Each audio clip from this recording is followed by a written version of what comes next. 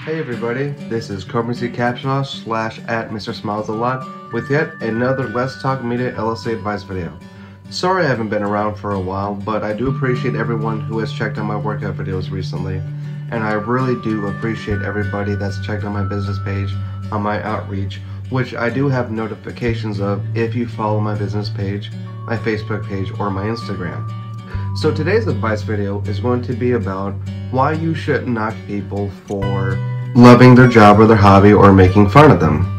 So, for example, I love to do my marketing, my advertising, and I love to teach martial arts on the side, post my workout videos, and these advice videos because I'm trying to be inspirational to everybody and I'm also just doing it because it's my hobby and it's my passion, it's what I love, besides being a security officer, obviously.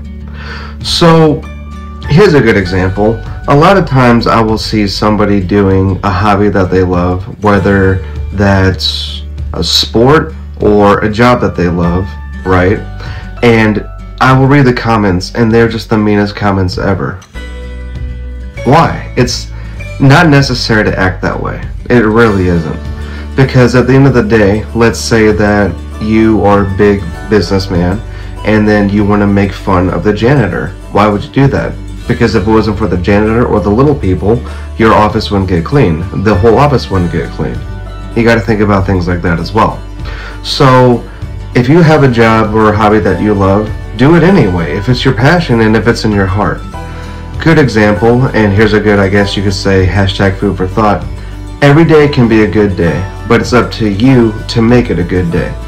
Now I know it's easier said than done because you might be upset about something, something the day before might have upset you or something in the future might be upsetting you.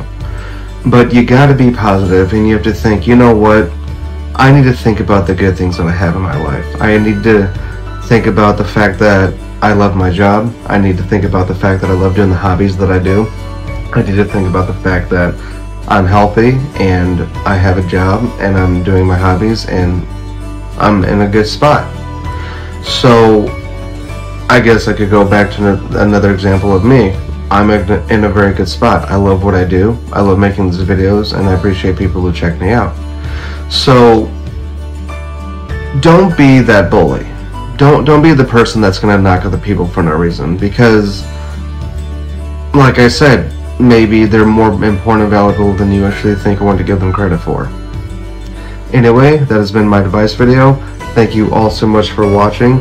If you live in St. Louis and if you need a marketer advertiser, please let me know. And if you would like to do a podcast with me, please let me know. Please like, subscribe, and share. Thank you all so much for watching. I love you all. See you next time.